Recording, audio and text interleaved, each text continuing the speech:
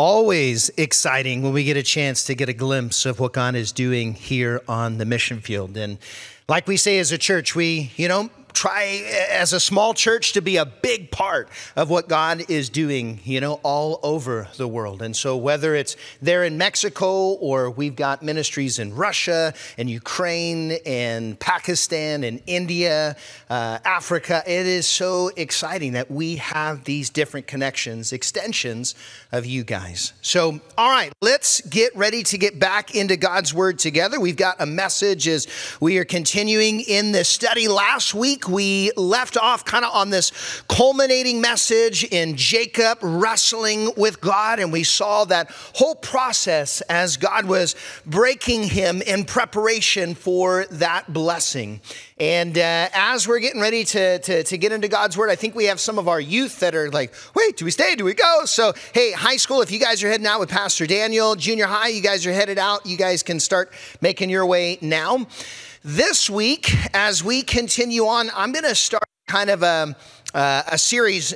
We got to, like I said, next week we're going to do the baptism, but we're going to be looking at now what is those next steps? Because it's interesting as we begin to look at after this wrestling match, you know, Jacob is forever changed. New name, Israel and he kind of walks with a limp, you know, you're like blessed but limping. And I think this describes the Christian life for, for some of you guys. You're like, man, I've got this blessing, but I, I have this new realization of my total dependence on God.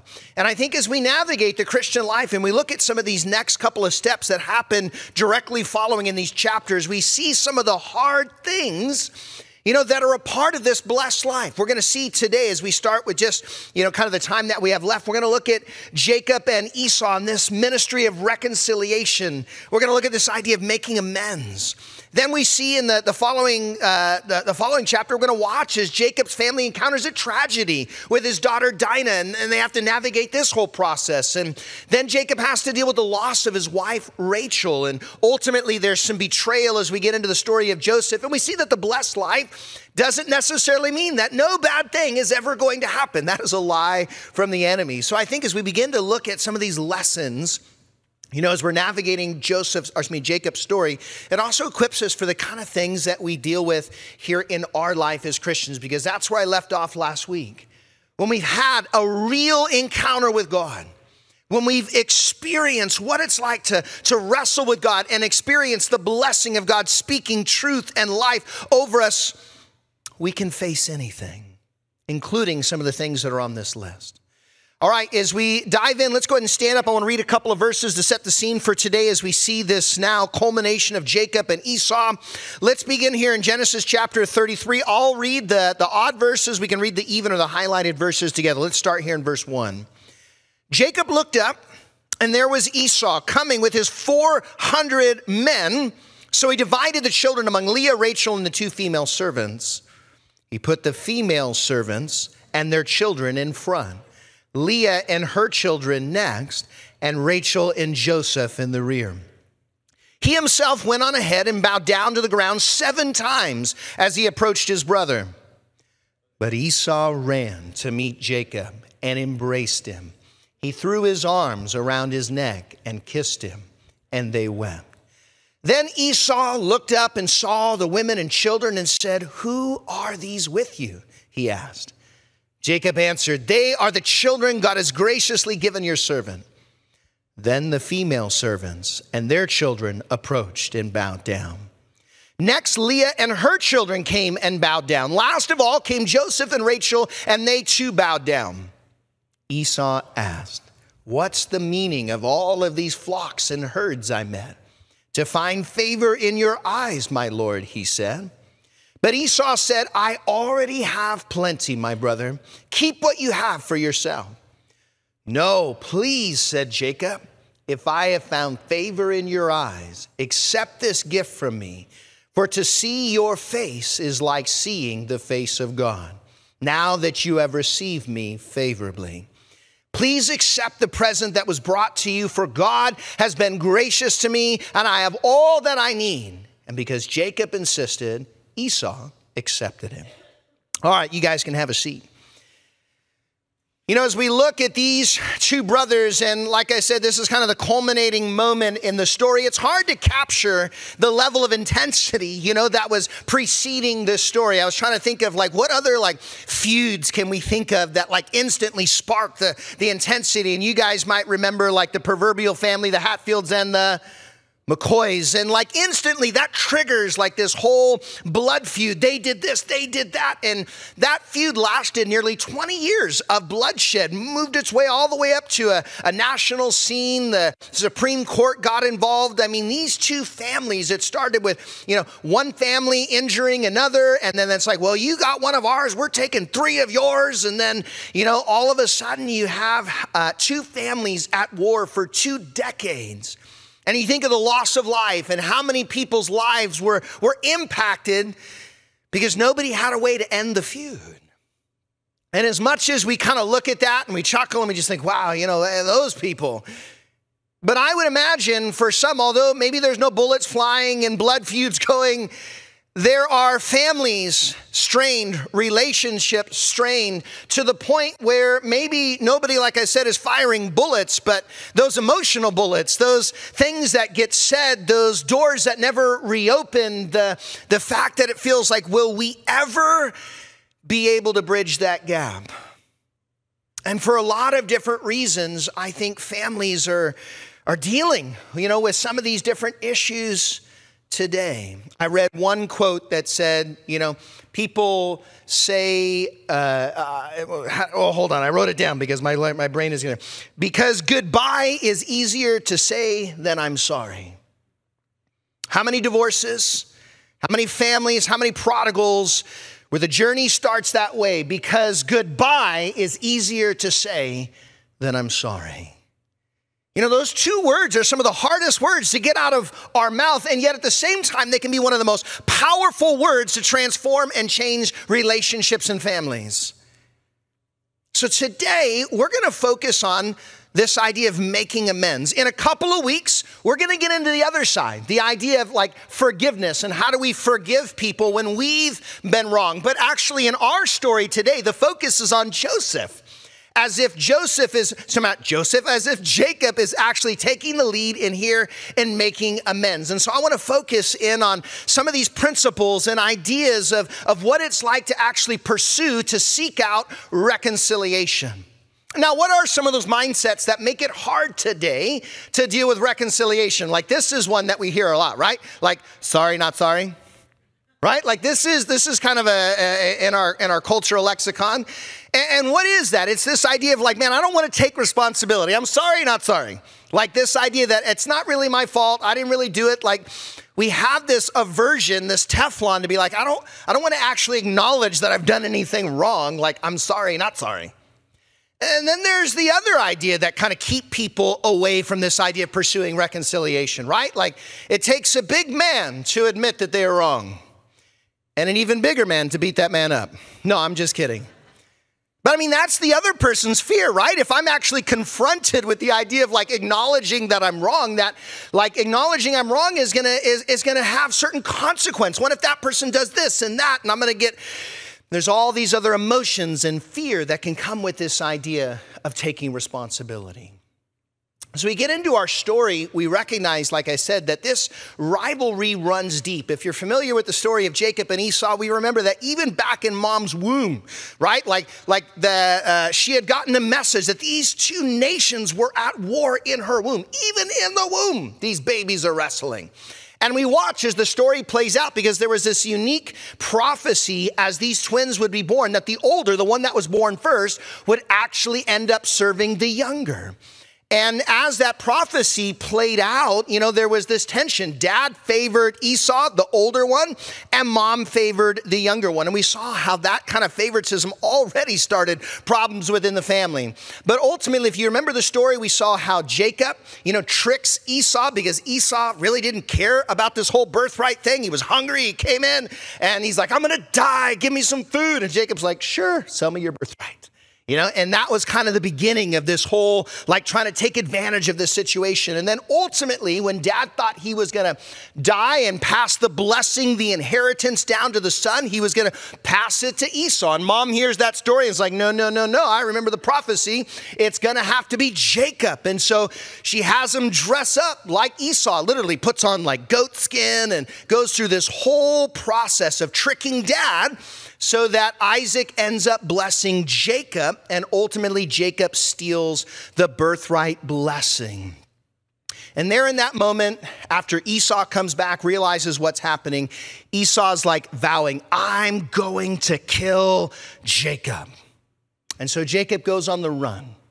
And that's where we've been actually for the last couple of chapters. As Jacob went up north with his mom's family, this whole story unfolds as he gets married, and we have this whole crazy family, you know, kind of being born out of that whole chaos. And here we are today, 20 years later, 20 years after Esau had vowed to like kill Jacob and all these different things, these two brothers have kind of been locked in this battle. Like at some point, it's all going to come back together. And I don't know, maybe I'm describing some of your families. You know, maybe there are brotherly relationship. Maybe it's parent and child relationship. I don't know who that person is in your life, but maybe a decade goes by, two decades go by, and it's like not a word has been said. There's still that ember, that flame burning that makes you think, man, if we were to see each other, like, it's over. And that's where things were left. As we look at, again, some of these principles, again, I'm going to focus today because I think this is where the Bible, uh, it, it helps us zero in on maybe one facet. So we're going to zero in on this part of the story and this idea of making amends. When we get a couple weeks into the story and we look at Joseph, we're going to see what happens when we are wronged and the difficulty of like extending forgiveness because that story in Joseph's life does gives us a great insight into this idea of how do we actually give forgiveness when we've been wronged. But I think what we see in this story, we can focus on, on this first half. We don't get to talk about this half a lot, but I want to talk about this idea of making amends, pursuing reconciliation. We're going to look at some of these different principles here. So let's go back here in our in our Bibles and let's look at the, the beginning of this different idea. In Genesis chapter 33, verse 3, and, and, and here's what I want to talk about today. If God's tugging you on the heart and He's reminding you of maybe a relationship, a person, a situation where God might be calling you to take step one in making amends. It says, Then the Lord said to Jacob, Go back to the land of your fathers and to your relatives, and I will be with you. First thing I want to talk about in this idea of making amends and seeking reconciliation is when we look at Jacob's life, it's God initiated. Okay? Like when we begin to ask ourselves, because again, some of you guys are gonna be thinking today, maybe God's poking at your heart, maybe God's speaking something to you, and you're like, how do I know it's the right time? How do I know that I need to be pursuing this? How do I know that this door is open? Well, first, we need to kind of start with this idea that reconciliation, the idea that Jacob is going back home, that he's going to actually have to confront his brother and deal with some of these things. It's starting with God that when I begin this process, this journey of like, okay, Lord, where are these areas that you're wanting me to go and grow in? It's God who has to kind of start that process. And I'll get into why that is in just a little bit. But we have to understand that reconciliation begins and ends with God. That's got to be at the, the catalyst, the heart of why, what, and even how we're pursuing this idea of reconciliation. Notice that Jacob has a promise. Because again, this is a hard question. You want me to go back to that place where my brother said he was going to kill me. And notice as he's beginning this process that God says, Look, I am telling you it's time to go back. But number two, I'm also telling you that you are not what? You are not alone. I am going with you, I will be with you. As you're beginning to navigate the process of some of the things that have happened and have gone in on your life, and you're already, your heart's beating a little bit, and you're thinking, Lord, I couldn't go back and talk to this person or that person or this certain situation. You need to understand that God's not asking, He's not sending you on a mission alone. If God is directing you and leading you back into a situation where He's calling you to this aspect, this ministry of reconciliation, number one, if God is calling you, He is going with you. And if He is going with you, that means not only is He preparing you, but He's preparing what? He's preparing them. Now, as we navigate this story, just a little bit. A couple of things that I wanna, I wanna make an observation about. Sin doesn't have an expiration date. What do I mean by that? How long has it been since Jacob went through this whole process of stealing Esau's birthright? We had it earlier in the slides. 20 years. 20 years has gone by since this whole story has unfolded. Families have been born, marriages have been born, whole, whole, whole chapters in life have been written. Yet there's still something that God is wanting to do in Jacob's life. There's still something that God is wanting to do in Esau's life. There's still something God wanted to do in the family. And I need to just say this because sometimes, yeah, uh, history and, and life goes on, but the reality is, for some of us, we realize that your past can start to get in the way of your present and even get in the way of your what? Your future. And there will be times in your life where God is going to tap you on the shoulder and say, hey, sin doesn't have an expiration date. Just because a long time has gone by and God's done these blessings and these other things in your life doesn't mean that He doesn't still maybe want to work in this area. Because sometimes you just think, it's been a long time. Can't we just move forward? I hear you. And there will be, as we talk about, sometimes the right way, the right time, the right place. There are answers to that questions. It's not always possible to pursue face to face reconciliation. It's not always healthy to pursue face to face reconciliation. But when God taps you on the shoulder and says, I want to deal with this, it's because I can't just say, well, sin has an expiration date. One of these books that highlight that principle, you know, if um, if you're flipping through the pages of the New Testament and like Hebrews is stuck together, like you can miss the whole book of Philemon. It's just one book. Love this book. Favorite, like little short book. When I um, would go into like the maximum security prisons in Hungary, we would get a chance to go share. Like this is one where I would like to, to sometimes speak from because here Paul is ends up in prison, and as he's there in prison, the guy that he's chained to, and this was kind of like Paul's ministry. If I'm stuck in prison and I'm chained to somebody, guess what? Y'all gonna hear the gospel. Like he's like, you can't go anywhere.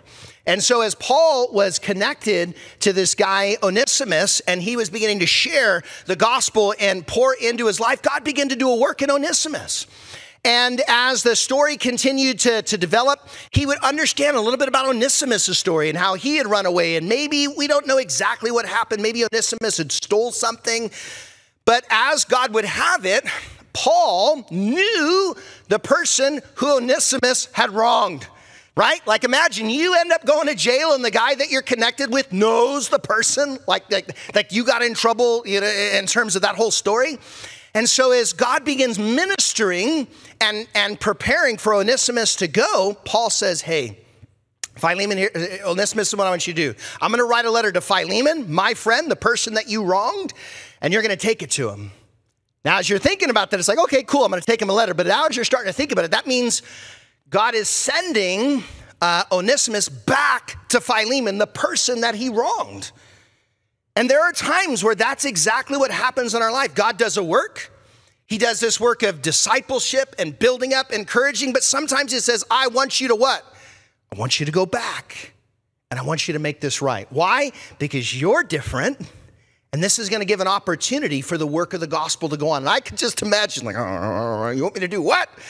But it's, a, it's an amazing book about reconciliation and how God is working through Paul and Onesimus and Philemon. And we can get into that book another story. But that's a great example biblically of where God says, hey, sin doesn't have an expiration date. I've done this work in you. You're a new person. Paul even says it. But he's like, hey, I'm sending you back because I want to deal with this. Now, one of the things that I know is stirring up in your guys' heart, because we're looking at this story and we see that here as God is calling Jacob back into this place to go back into his family. And we see here on this first part of the verse that Esau, we don't know how he's going to respond. This is Jacob's fear, right? Esau is coming with 400 men. It looks like Esau didn't get the memo, you know, that, that Jacob is coming seeking reconciliation. Esau, it looks like, is coming ready for war. 400 men. And this is where I want to stop and talk for just a moment because some of you guys are asking is it always a good idea to go seeking to like make things right, to go have that face to face, person to person, like, all right, I need to go back and follow up with this person in this particular situation? Some of you guys know um, we as a church have a 12 step ministry. We had a group that meets on Sunday nights, and we have a number of people in our church who have been blessed by 12 step programs. I know myself when God was beginning to do this work of restoration and, and, and building, um, building up these, these, these radical changes in my life, He used a 12 step program to help with that process of like taking baby steps, you know, to begin to understand, like, okay, hold, what is God doing to, to bring us to that place of rescue and recovery? One step that you'll often hear people refer to as we talk about this idea of step nine, making amends. And this is where I want to give you a little resource because I think, man, a whole lot of people, their lives would be radically impacted in their Christian life by encountering walking through some of these different programs. But let me give you a little insight into step nine. Step nine says, We made direct amends to such people wherever possible. Notice the part that's highlighted, except when to do so would injure them or others. You know, in step eight, it, it, it challenges you to make a list of those people you've wronged and those things. It's about taking accountability, you're taking this inventory. But then when you're encouraged in step nine to like actually do something about it, there's this little qualifier that reminds us that it's not always the healthiest right? To just jump back into somebody's life five years, 10 years, 15 years later. Like sometimes we can interject ourselves into a situation and cause more harm than good. And so there's this little reminder, there's this little counsel, there's this little caveat, you know, that we, ha- uh, that we say that says, look, except when to do so would injure them or others. Let me talk a little bit about what I mean by that.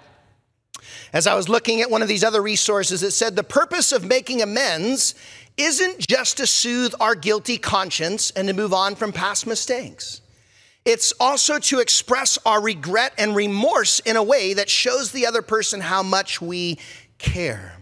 We want to communicate to them how sorry we are for the things that we've done, that we care about them and their feelings so much that we want them to know how sorry we are. When we're making amends, the other person's feelings are just as important as what? Our own. And what that's reminding us about is as God begins to touch your heart and say, hey, there's some areas you need to go make right.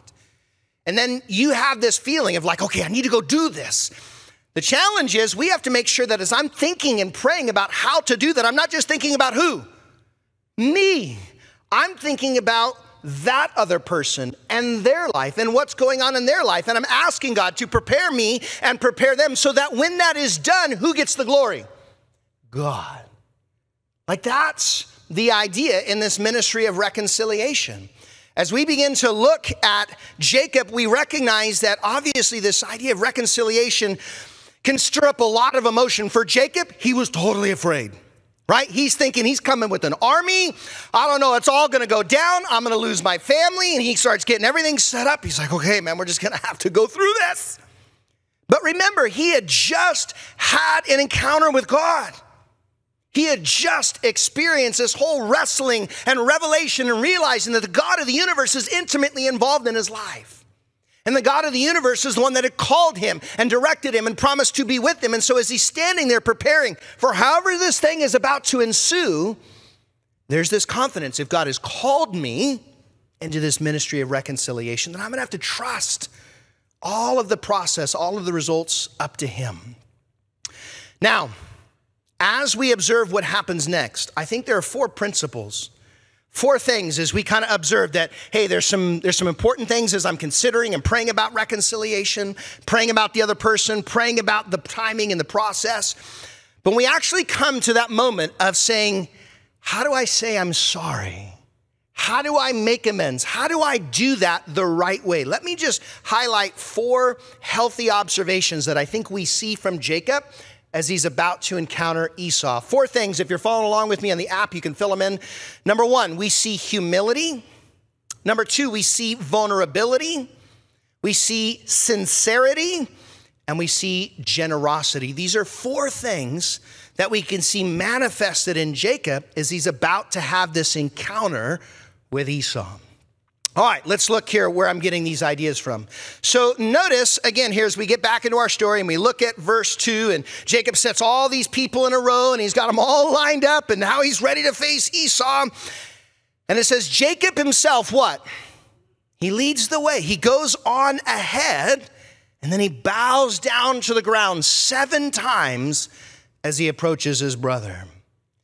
Now, I think as we see this first observation, we can start to see this posture, this attitude of humility. I like this quote Humility leads to strength and not to weakness, is the highest form of self respect to admit mistakes and to make amends for them. As we mentioned earlier, sometimes we have a real aversion to this idea of saying, I'm sorry, I was wrong. I think there's a whole generation that just is allergic to those words, right? Like it is, it is, it is really hard to see people take responsibility. Just any, any of us that have ever been in that position know how hard that is to get those words out. As we're thinking about here in just another uh, two weeks, we're going to be celebrating Father's Day. And for those of us who are, are, parents, man, I think about like the joy of being with my, my kids. And as you're thinking about this story, and we're thinking about, you know, Jacob, and he's got like 11 kids now and all these different people but i want you to i want you to notice as you're setting the scene in your mind is he's got them all lined up. He's got the servants and their kids and he's got rachel and his kids and and and he's got leah. All the kids are there. And then jacob goes out to the very front and he humbles himself in front of Esau. I want to say this, and this applies to each parent that's out there, but this idea of walking in vulnerability and in humility, you know, I know for myself as a dad, I've had to process this in my own life, but if our kids see our mistakes, they should also what? See our amends. You know how many times I've had to like, you know, when you lose your, your temper or you, you know, you didn't do things the right way that you wanted to do, and you know, your kids can all be a part of that chaos, and then and then you just want to move on. You just want to kind of go on, like, all right, we're, let's just keep going on with the day. But our kids don't forget those things, do they?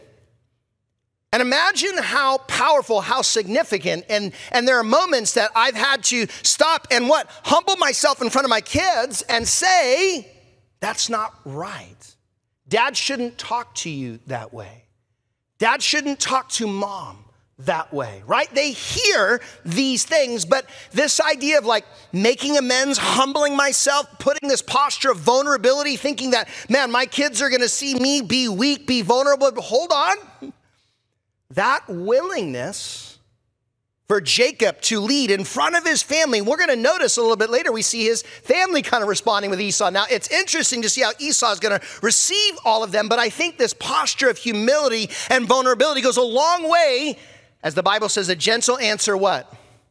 Turns away wrath. And I think as parents, I mean, we're so aware of our own mistakes and we're aware of those different things, but how much am I aware that God may be saying, hey, this is now an opportunity to lead and showing my kids what is it like to humble yourself and to actually make amends, take responsibility. Say, hey, this wasn't right. I want to do better next time. Would you forgive me? Shouldn't have that kind of attitude. If you're wondering why your kids are struggling with taking responsibility, don't just blame the culture. We need to look in the what? We need to look in the mirror.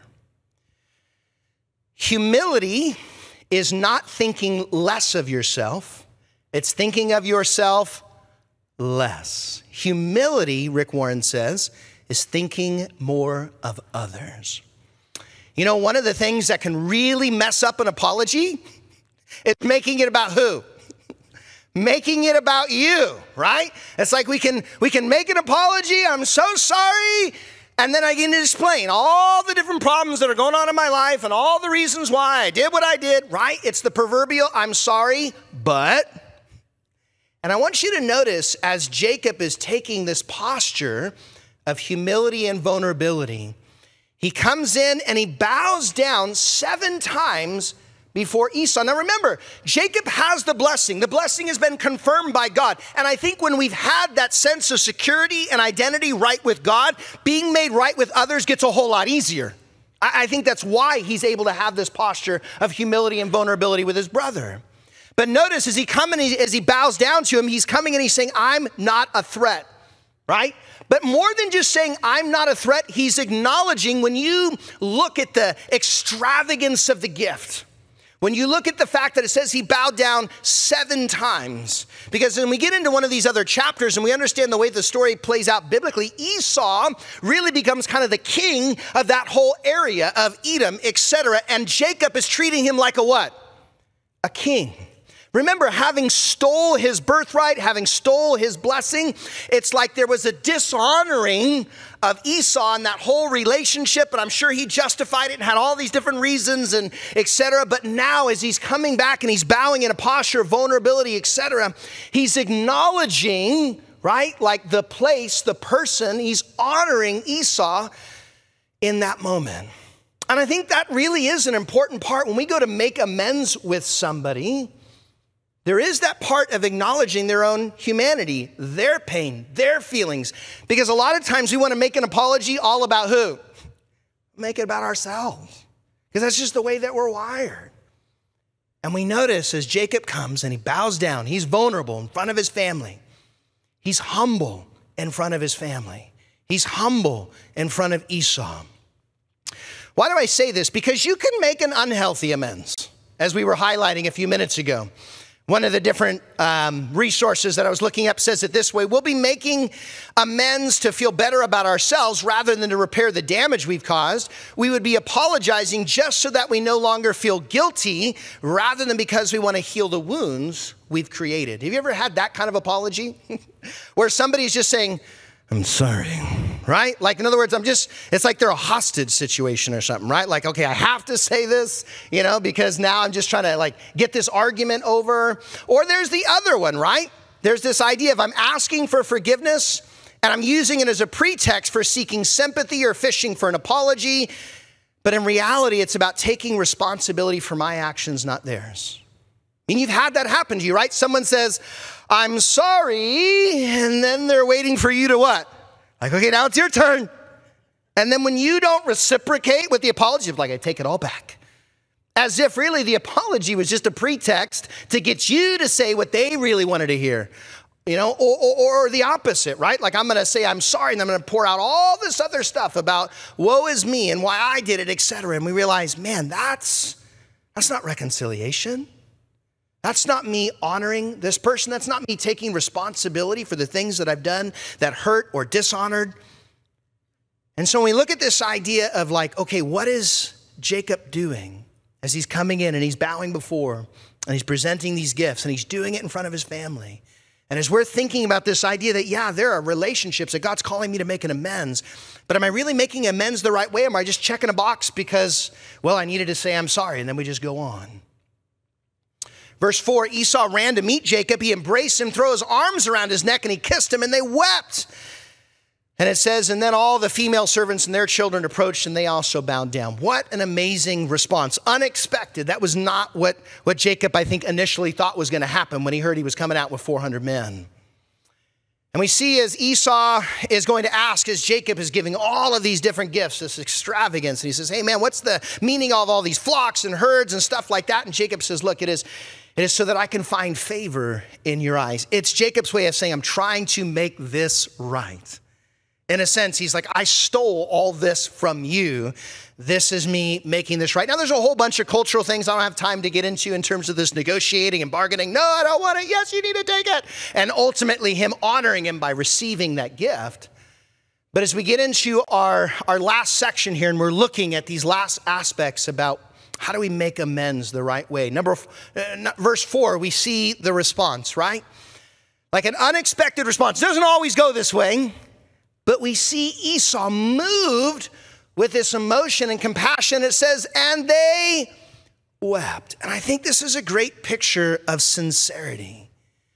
Like, meaning Jacob went into it full well, hoping, wanting for the reconciliation to happen.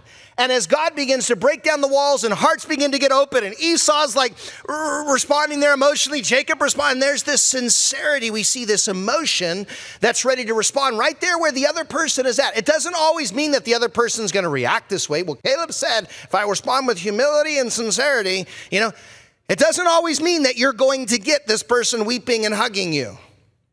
But here we see that when it comes to this idea of sincerity, a sincere apology makes no presumptions on the response of the wounded party. Remember, why did Jacob head back this way? Because God told him to. The idea wasn't, I'm going this way so that I can get this from Esau. The idea is, I'm going this way because God told me to go this way. And as God is sending me back this way, I've got to make these things right because I got to be obedient to who? To God. So when I go and make an apology, I'm not making it based on the other person's response. My job is to make things right regardless of the other person's response. The sincerity is I'm doing this because I actually believe that I have something to be accountable for, that I need to take responsibility for. That's why I'm doing it. Does that make sense? And in the event that the doors open up and the walls come down, there's that willingness to be ready to reciprocate and release the offended party from owing you anything right? Like, man, if the walls come down and that person's ready to, like, huh, then it's like, hey, we're ready to move forward. And if that person's not ready then yet at that moment, hey, I'm releasing you from any, you don't owe me anything. You don't have to follow up with your apology and these different things. I came to do what God called me to do, and I got to walk in obedience and sincerity with that. True reconciliation does not consist in merely forgetting the past. You know, it's not just about saying, hey, I'm sorry. Would you forgive me? Those are important words. But sometimes, like we see in the book of Philemon, God's calling us to do more than just say with our words, I'm sorry. Sometimes there's actually an idea of restitution where we need to take responsibility. There may be financial things that I need to make right. There may be actual things that I need to follow through. It doesn't mean I can do it all right now, but it means that I need to take responsibility and say, hey, how do I make this right. Philemon chapter 1, verses 12 through 14. This is what we were talking about. Paul is sending him back. And he says, Look, I'm sending him who is my very heart back to you. I would have liked to keep him here with me so that he could take your place in helping me while I'm in chains for the gospel, but I did not want to do anything without your consent, so that any favor you do would not seem forced, but would seem voluntary. And so we can see with Paul when it comes to this idea of reconciliation, he's like, I am sending this back, this guy back because he needs to make things right. I'm not just going to assume that you're going to forgive him, that you're going to let go of the debt. That you're gonna, like I, that's that's not fair to do when dealing with this ministry of reconciliation. I have to give you an opportunity to deal with this person face to face and begin to release or deal with it however God leads. I don't want to assume. I don't want to take this opportunity away from you. And you give God room to work in that moment. In Luke chapter 19, this is how God stirred up Zacchaeus' heart. You guys remember that? Zacchaeus was a wee little man. The wee little man was he climbed up in the sycamore tree, right? He was that, he was that main tax collector in the city, has an encounter with Jesus. And there, as Jesus begins to do a work in his heart, he has this, this, this, this, uh, this desire inside of him to say, I now need to make these things right. And it says, Zacchaeus stood up and said to the Lord, Look, Lord, here I am. I give half of my possessions to the poor. And if I have cheated anybody out of anything, what? I will pay back four times the amount. So, yeah, generosity was great, but this idea of like the people that I've wronged, this is the way that I want to make it right. And he had this response. It wasn't even Jesus said, Zacchaeus, you need to do this before you get saved. Nope. Jesus looked at him. Jesus loved him. Jesus said, I want to go to your house. And in that moment, as he began to experience this conviction, this revelation, this was his response. It was a work of God's Spirit. And I guess that's another question as we're processing this story in our own life. Am I willing to make it right? Reconciliation might hurt, but it's not as painful as dying in unforgiveness. Some of you guys still carry around that weight, some of those wounds of people that you say, I wish I could have had that conversation on both sides. Some of you like, man, I wish I would have been able to say, I'm sorry. I wish the last thing we said to each other wasn't that argument. For some of you guys, you know, you're on the, the other side of it, like, man, I wish, you know, I, I would have been able to say, I forgive you to that person. But here's the thing if you're processing that today and some of those people are still alive, you don't have to wait in terms of like, well, chapter's done, book is closed. Like if God is calling, if He's tapping you on the heart, imagine if there's been a transformation, if there's been a change, if God has done a radical work in your life, no greater opportunity to share the gospel story of the grace of God than for me to take some of those steps where I've been wrong and seek to make those things what? Right. Because of who God is and what God has done. But when I do it, I need to do it in a way that honors who? God. It's not just about me feeling better, it's about me honoring Christ. Now, some of you guys, as you're looking at this, like, man, there's financial implications. It's hard. What if they yell at me? What if this all goes bad? Like, why is this so hard? Let me just close with this. Because I know this is hard. I've had to navigate it in my own life. All kinds of messy stuff that God had had to bring me out of and then begin to work through. And I think as we understand why it feels so hard, there's a lot of fear and taking responsibility, of being accountable because of rejection, you know, because of this idea of our facing our own imperfections and this idea of just shame, this, this, this stuff that the enemy loves to poke and say, look how terrible you are, look what you've done. We all have those insecurities. And the enemy plays on them every time that we feel like we're taking that first step in that direction. And so, what do we do about it? One of the most powerful parts of the gospel is the fact when we think about why is it so hard to come up to somebody and say, I'm sorry? Is because we really don't know how they're going to react. We don't know if they're going to say, I forgive you or I hate you.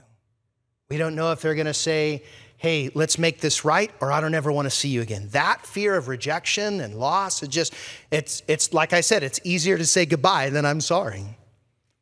But here's the thing that you need to know about the gospel. This is part of my job as a pastor, probably my favorite part of the job. The Bible talks about in 1 John 1 9, if we what? If we confess our sins, he is faithful and just to what?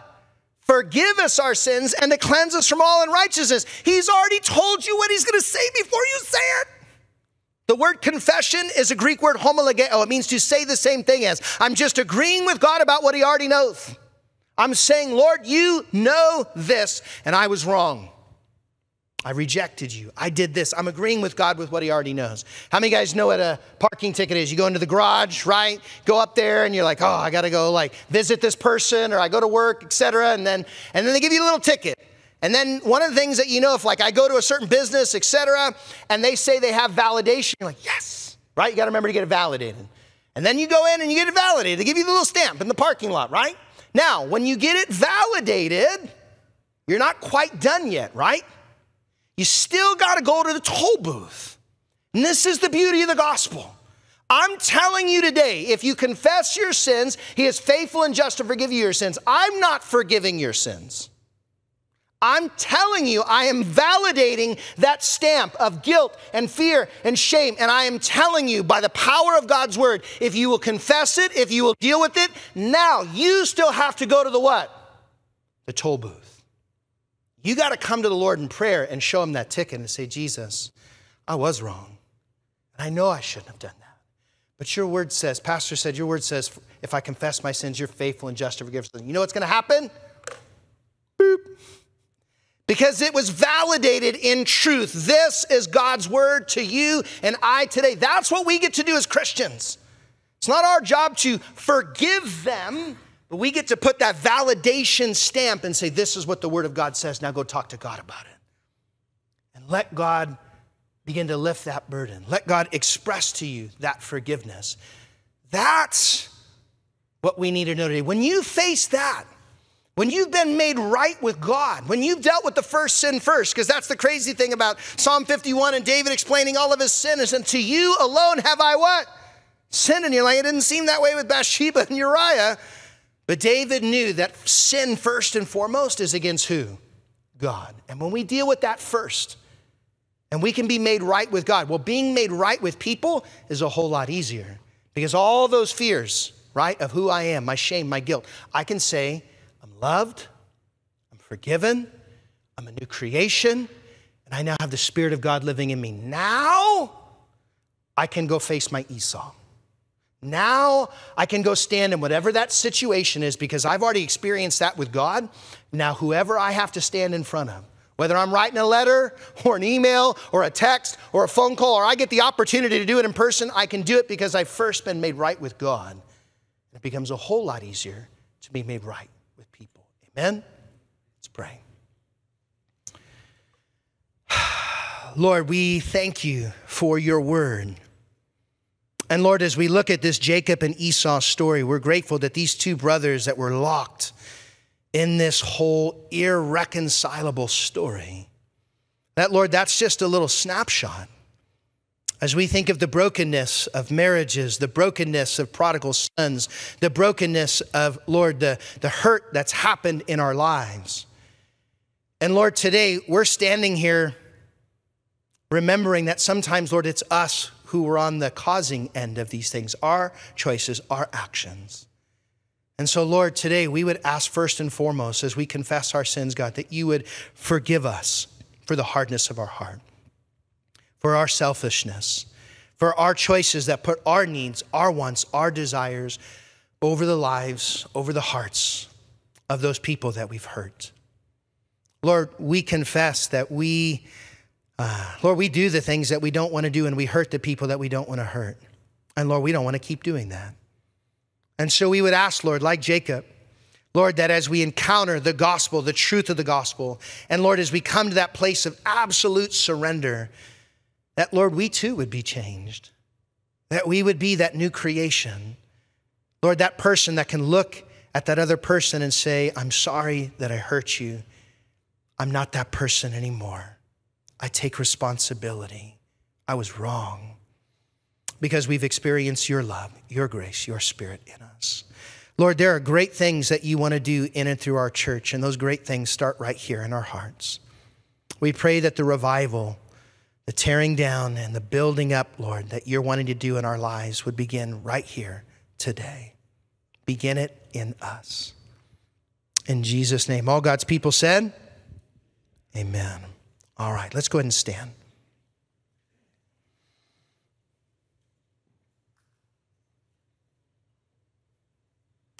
Let me just remind you today as we're closing out you don't have to do this alone. We touched briefly on a subject that can be kind of a lightning rod for a lot of questions and emotions. I want to encourage you, you still got another week or so of your small groups. Take advantage of the wisdom and the grace of the people that God has surrounded you with. If you've got questions, there's particular situations, some of you guys are dealing with this with family and relationships, I'd love to come alongside you or the men's ministry or women's ministry. Reach out to us this week. This isn't something we just snap a finger and it all goes away. As well as we have some people in the back who would love to pray with you and pray for you. But let me close with this. The Lord bless you and keep you. The Lord make his face to shine upon you and be gracious to you. The Lord lift up his countenance upon you and give you his peace. God bless you guys this week. Let's go out and be reconcilers.